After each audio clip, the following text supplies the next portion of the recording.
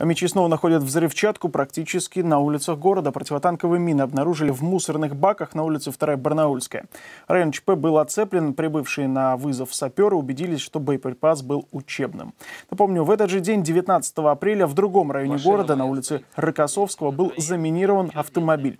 Гранату F1 на переднем колесе иномарки обнаружил хозяин машины. Ранее сообщалось, что боеприпас учебный, но на следующий день в Следственном комитете эту информацию опровергли. Граната оказалась боевая, запалом.